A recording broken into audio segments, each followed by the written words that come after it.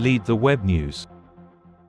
තුමනි වැදගත් ප්‍රශ්නයක් මම පොඩ්ඩක් මතු කරන්න අදන්නේ විශේෂම අපේ ගරු අගමැත්තුමා ඉන්න නිසා. ගරු අගමැත්තුමනි පළත්පාල ඇමත්තුමා විදියට පට මේ ගරු ගරු අගමැත්තුමා. දැන් මේ ජනාධිපති ලේකම්තුමා විසින් යවල තිබෙනවා දෙදස් විසි අතරයි හතරයි විසිනමේ දිනැති චක්ලේකනයක් සියලුම පළත්පාලන බලපදේශ සඳහා ප්‍රජා උපදේශක කමටු පත් කරන්න කියල්. එතර පළාත් ආණ්ඩුකාරවරුන්ට පළත් ප්‍රධාන ලේකම්වරුන්ට දිස්සික් ලේකම්වරුන්ට ප්‍රාදේශීය ලේකම්වරුන්ට. එතර පැහැදිලිව මේ ක්‍රියාදාමය කලින් ක්‍රියාත්මක කරමින් තිබුණේ දිස්සික් ප්‍රාශිලයන් කාරයාල තුළින්. නමුත් දැන් මේක මේ උරුමේ වැඩසටාන ඉඩම් හිමිකාරිත්ව වැඩසටාන නාගරික නිවාසිමිකාරිත්ව වැඩසටාන කඳුකර දශකයේ සංවර්ධන වැඩසටාන කුෂිකර්ම නවීකරණ වැඩසටාන සහල් බෙදාදීමේ වැඩසටාන ග්‍රාමීය මට්ටමින් අධීක්ෂණය කරන්න පළාත් පාලන ආයතන හරහා ක්‍රියාත්මක කරන්න කියලා ප්‍රජා උපදේශක කමිටුව හදන්න කියලා. මේවා ක්‍රියාත්මක කරලා අපිට කිසි ප්‍රශ්නයක් නැහැ. ඔබතුමාලා ඒවා කරගන්න.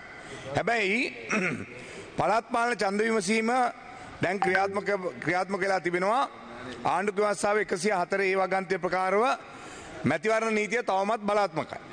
ඒවා ඒ වගේම විශේෂයෙන් ඒකේ දාලා දෙනවා කිසිදු දේශපාලන පක්ෂයක් කණ්ඩායමක් අපේක්ෂකයෙක් ප්‍රවර්ධනය නොවනසේ කටයුතු කළ යුතු බවට ඒ සඳහා කිසිදු රාජ්‍ය දේපල යොදා නොගත යුතු බවටත් මේ ශ්‍රී ලංකා ප්‍රජාතන්ත්‍ර සමාජවාදී ජනරජයේ ආණ්ඩුක ව්‍යවස්ථාව 104 හතර ආණුව අනුව්‍යවස්ථාව අනුව සියලු රාජ්‍ය ආයතන ප්‍රධානීන් දැනුවත් කළා. 2023 එකයි හතර දින ඇති 230 23යි 13 ඇලිරක් 32 දරන ගැසට් පත්‍රය නිකුත් කරලා තියෙනවා මැතිවරණ කොමිෂන් සභාව. දැන් මේක නිකුත් කරලා තියෙද්දි තමයි දැන් මේ වහලා දාලා තියෙන පළාත් පාලන ආයතන ටික නැවත හිමීට දොර අරින්න හදන්නේ මේ ක්‍රියාදාමය හරහා. එතකොට පැහැදිලිව මේකෙන් මේ ඡන්ද ඉල්ලන අපේක්ෂකව තමයි මේ හිටපු ප්‍රාදේශ සභා මන්ත්‍රීවරු ඒ අය.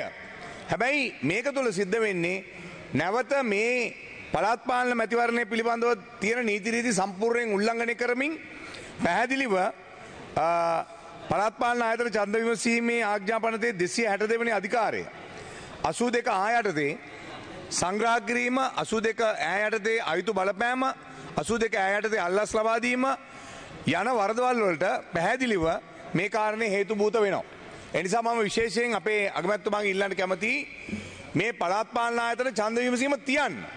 තියලා මේක ඉවර කරන්න. නැත්තම් ඔබතුමාලා මේ බැරි වුණ දොර ඇරගන්න විදියක් හදාගෙන පළාත් පාලන ආයතන මන්ත්‍රීවරුන්ට ආපහු නැවත මේක ක්‍රියාත්මක කරන්න දෙනවා නම් ඒක ඇත්තටම පැහැදිලිව පළාත් පාලන ආයතන මේ ඡන්ද විමසීම ක්‍රියාමාර්ග තුල වැරදි වැඩක් බවට පත් වෙලා තියෙනවා. ඒ නිසා මම ගරු කතානායකතුමාගෙන් ඉල්ලනවා අපේ ගරු අගමැතිතුමාගෙන් මේ සම්බන්ධව යම් පැහැදිලි කිරීමක් කරන්න ඔබතුමාලා ආසන මේවා කරපු සම්බන්ධීකරණ ප්‍රාදේශීය කාර්යාලවලින් මේක කරාට අපිට ප්‍රශ්නයක් නැහැ. හැබැයි මේකෙන් වෙන්නේ ලොකු අසාධාරණයක්. මොකද හේතුව විපක්ෂ අපේක්ෂකයන්ට ඔබතුමාලා එන්න කියන්නේ නැහැ මේවට. ඔබතුමාලගේ ආණ්ඩු පක්ෂයේ ඉන්න කට්ටිය විතරක් ගෙන්නලා මේ කරා මේ දේ ක්‍රියාත්මක කිරීම තුළ විශාල අසාධාරණයක් විපක්ෂයේ සියලුම දේශපාලන පක්ෂවලට සිද්ධ වෙනවා. මේක විමධ්‍යගත අරමුදල් තමුන්නාස දුන්නෙත් නෑ එක දෙවෙනි එක මේකත් මේක හරහත් පැහැදිලිව දේශපාලන ක්‍රියාවලියක් තමයි මේ ක්‍රියාත්මක වෙන්නේ නිසා කරුණාකරලා මේ නවත්තන්න කටයුතු කරන්න කියලා කියනවා. මොකද හේතුව මේක ගරු කතානායකතුමනි දැන් ජනාධිපතිවරණය කැඳවීමේ ක්‍රියාදාමයක් දැන් පටන් අරන් තියෙනවා. එතකොට හරියටම ගත්තොත් ඒගොල්ලෝ කියලා තියෙනවා සැප්තැම්බර් 16 ඉඳලා ඔක්තෝබර් 16 වෙනකල් මේ ඒ අතර මේක තියෙනවා කියලා. එතකොට ඒ එතන ඉඳලා මාස දෙකක් මේ පැත්තට ගත්තොත් පැහැදිලිව ජූනි ජූලි වෙනකොට අනිවාර්යෙන් මේ ක්‍රියාදාම එකක්වත් ක්‍රියාත්මක කරන්න බෑ. මොකද තව මැතිවරණයක් ඇඳවලා තියෙන්නේ. පළාත් පාලන මැතිවරණයක් ඇඳවලා ඒක හෝල් කරලා තියාගෙන ඉන්නව නැත්තම් පවත්වන්න තියන් ඉන්නව. ජනාධිපතිවරණය කැඳවන්න දැන් දින නියම කරලා තියෙනවා. ඒකත් එක ගත්තම් මේ සියල්ලම මැතිවරණ සමයක්. එනිසා සම්වර්ධන වැඩ කරාට කමක් නැහැ. හැබැයි අපේක්ෂකයන් ප්‍රවර්ධනය කරන වැඩේට මේක දායක කරගන්න එපයි කියන කාරුණික ඉල්ලීම තමයි අපි අගමැතිතුමාගෙන් ඉල්ලන්නේ. කරුණාකරලා ඔබතුමාගෙන් අපි උත්තරයක් බලාපොරොත්තු වෙනවා. ඉඳගෙන ඔහොම බලාගෙන ඉන්න එපා. මොනවාරි කියන්න ඕක. නැත්තම් මේ හැමදාම අහගෙන ඉන්නවා මුකුත් කියන්නේ නැහැ. ඇගමැත්තුවා. තුවන්ත වෙනවා ශ්‍රී ලංකා නිදහස් පක්ෂය හිටපු ලේකම්තුමාගේ ප්‍රකාශයට. මොකද අපිත් බලංගන්නවා අපේ ප්‍රධාන ලංකාවේ දේශපාලන පෙරලි රාශ්‍යයකට කටයුතු කරපු ශ්‍රී ලංකා නිදහස් පක්ෂය අනාගතය ගැන. එක ඒක දවසට එක එකේවා කියනවා. ඔබතුමත් කියනවා.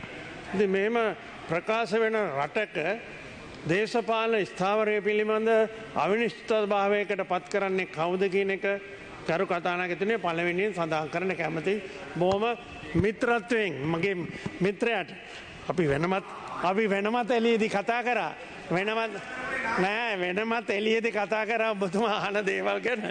ගරු විපක්ෂනායකතුමා මේ පිළිබඳ පලවෙනියම පාර්ලිමේන්තුවේ පසුගිය දවසේ ප්‍රශ්නයක් විසි අත දෙක යටතේ. ඒ වගේම ගරු ඩල්ල සලහ පෙරුම මැතිතුමා සභාව කල්තමන අවස්ථාවේ ප්‍රශ්නය ඒ දිනේම නගල තිබුණා. ඒකට පිළිතුරු රජය වෙනුවෙන් අමාත්‍යන්සේ වෙනුවෙන් අපේ රාජ්‍ය අමාතිතුමා ජානක වක්කමන ඇත්තුමා පිළිතුරු දුන්න. ඔය චක්‍රලේඛනයේ කිසි තැනක තර්ග කරන අපේක්ෂකය ගැන සඳහන් වෙන්නේ නෑ කරුකතානායකතුමනි. මේ රටේ සංවර්ධන ව්‍යාපති රාශයක් අවුරුදු දෙකක් විතර ඇන හිටපුදේ අපි පටන් ගන්න අයවැලේකන අනුමත කරා. ඔබ සියලු දෙනා අයවැලේකන අනුමත කරා මොකද ජනතතුම එක යෝජනා කරා දිස්ත්‍රික මට්ටමේ විමධගත ආදිදේ ගැන. ඉතින් අපි දැන් ඒ ක්‍රියාත්මක කිරීම සඳහා වේගවත් කරන්න පැහැදිලි උපදෙස් දිසාපති ප්‍රාලේ සෑම කාර්යාලයකටම දීලා අපේ මන්ත්‍රීවරුවේ සභාපතිවරු හැටියට වැඩ කරන ඔබතුමාලට තාරාධනය කළ තියෙනවා. ඔබතුමලාගේ සමහර මන්ත්‍රීවරු පැමිණෙනවා කරන ඉල්ලීම් ජනාධිපත්තුමා අනුමත කරලා ඒවා ක්‍රියාත්ම කිරීමට මුදල් අනුමත කරලා තියෙනවා. ඉතිං ඕන්නම ඕන්නන් දැන පොඩ්ඩ ඉන්න ඔබ ඔබ ඔබතුමාලගේ මන්ත්‍රීවරු ඔබතුමාලගේ මන්ත්‍රීවරු ඔබතුමාලගේ මන්ත්‍රීවරුන්ට මේ ඉල්ලීම් හරි මේ ඉල්ලීම් අනු අපි දීලා තියෙනවා. කාට කාටද කියන්න ඕන්නම් කරුණා කල්ලා සංවර්ධන සංවර්ධන කොමිටියට පැමිණි සංවර්ධන කොමිටියෙන් ඉල්ලා සිටපු ආණ්ඩුවද විපක්ෂද කියල අපි බලල නෑ ඒ අනුව අපි විමධගත මුදල් පළත් ශභා මුදල් මහන්ඩුවේ වෙනත් ව්‍යාපති ලබාදීලා තියෙන. ඔබතුමාලට ලැබිල නැත්තං ඔබතුමාට ලැල් ලැබිල නැත්තං විස්තරය වන්න මං කියන්න ලබා දුන්න අයගේ නාමලේකන සහ ලබා දුන්න ව්‍යාපතිය ගමේ සිට ඉහලටම අපිට කියත ඇකි. අපිට ඔබතුමාලා විපක්ෂයක් නැහැ. ඔබතුමාලා විපක්ෂයක් කියල එකක් නෑ. අද වෙලා තියෙන ඒකයි. අපේ ඔබතුමාලා මෙහෙන් ගියාට පස්සේ ඔබතුමාලා කරන්න කියන්නේ මොකක්ද දන්න තීතත්වේ. නමුත් මම මම ගෞරවාන් විතව කියන කරු කතානායකතුමනේ ඕම ඉන්නවන් උත්තර දිල ඉවර වෙනකම්. පොඩ ඉන්න කොමිනිස් පක්ෂ ගන්නත්තන් කොමිනිස් පක්ෂය ඉන්න. ඒක ඔබතුමා මන්ත්‍රී කෙනෙක් කැටියට නෙමේ කටයුතු කරන්නේ පක්ෂය ප්‍රතිපත්තිය. ඒ නිසා ගරු කතානායකතුමනේ අපි අපි ඉතා පැහැදිලිව මේ කියවන ලද කියවන ලද චක්‍රලේඛනයට පිළිතුරු අපේ ඇමතිවරු දුන්න මම යළිත් කියනවා මේ චක්‍රලේඛනේ කිසිම තැනක තරඟ කරන අපේක්ෂකෙක් ගැන සඳහන් වෙන්නේ නෑ. හෝ අපේ එහෙම බලාපොරොත්තුවත් තියෙනවන අන්තර්ගත කළ යුතුයි. ඒම අන්තර්ගත කල්ලත් නෑ. අපිට පළත් ස්වභාව විසුර ඇරලා තියෙන නිසා ඕන්න පළත් ස්වභාව හිටපු මන්ත්‍රී කෙනෙක් පත් කරත හැකි. ඒක තියන්න බැරි හිරවිල්ල කරේ ඔබතුමාලමයි ආණ්ඩු කාලේ. ඒ හිරවිල්ලෙන් ගොඩෙන්න අපි සංශෝධන ඉදිරිපත් කරාම ඒකට විරුද්ධ වුණා. ඒ අනුව ඒ අනුව ඒ අනුවන කාරක සභා යෝජනාව ක්‍රියාත්ම කරන්න බැරුව නැවත වුණා. ම ඉතාම ඕන කමෙන් කියනවා රටපුරා විශ්‍රාම ගියපු ඉංජිනේරවරු කාර්මික නිලධාරීන් විවිධ වෘතීන් ගංවල මේ පිළිබඳ ප්‍රායෝගික දැන්මක් ඇති ග්‍රාමිය නායකයන් ඉන්නවා. ඇයි ඒගොල්ලන්ගේ සහයෝගයක් ප්‍රාදේශී සභාව හරහා මේ රටේ සංවර්ධන ව්‍යාපෘති හමාර කිරීමට ගණ්ඩ එපයි කියන්නේ. ඇයි ඒම කියන්නේ. එහෙම ඒකාධිකාරයක් රටේ දේශපාලන මන්ත්‍රීවරුන්ට පමණක් හිමි නෑ මේ රටේ සංවර්ධනය ඒකාධිකාරය බල පෙරලියකින් වෙනස් කරන්න කියලාපු හඬ අපි අමතක කරන්න ඕන්නෑ ඒ නිසා ඒ අයට කැඳවලා ඒ කොමිටි මගෙන් උපදෙසක් දෙන්න ඕන්නම් මන්ත්‍රීවරයෙක්ට උපදෙසක් දෙන්න පුළුවන් විදියට මේ කමිටු අපි ඇතිකිරීමයි මේ කියවන චක්‍රලේඛන තියෙන ඒකයි. ඔව්. ඔව් ලක්ෂන් කියරල්ල මැත්තුම ඉසල් එල්ලුවේ මං ඉස්සෙල්ලාම කියන්න ඕන විපක්ෂනායකතුවා මේ ප්‍රාදේශීය උපදේශක කමිටු සම්බන්ධයෙන් අහපු ප්‍රශ්නයට උත්තරයක් දීලා නැහැ. අපේ අගමැතිතුමා අගමැතිතුමා Shayan, don't disturb.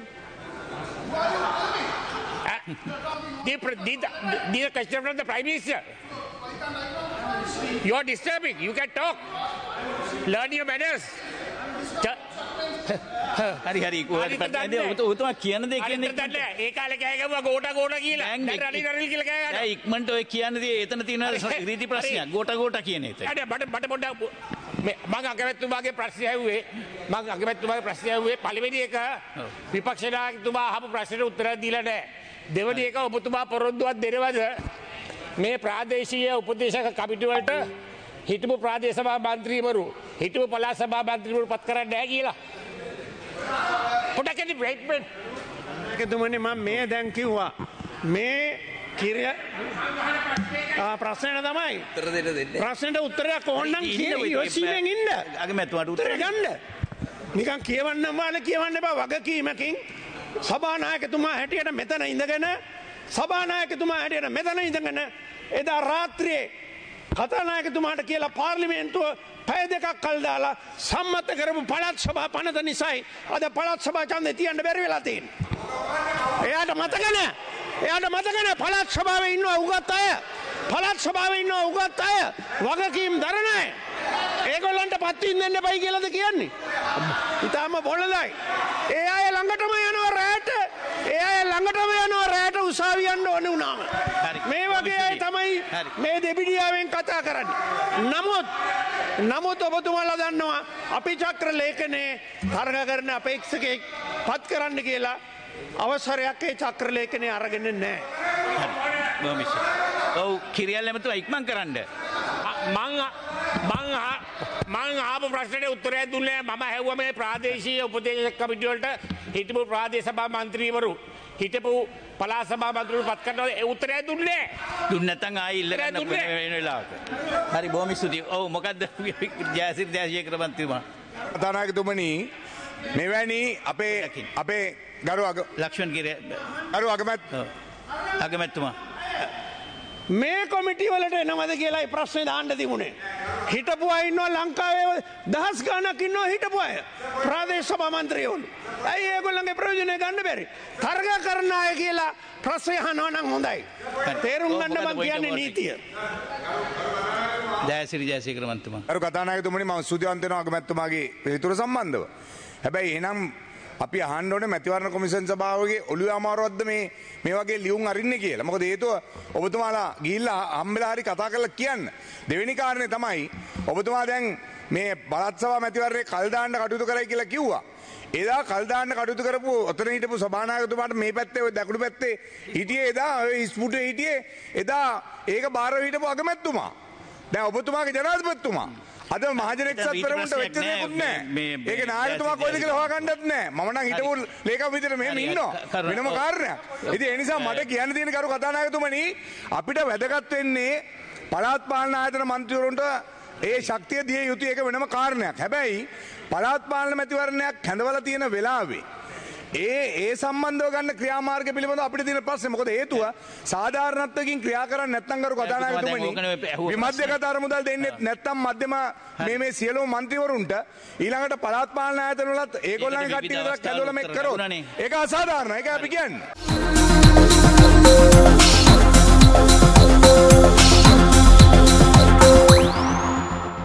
We lead the web news.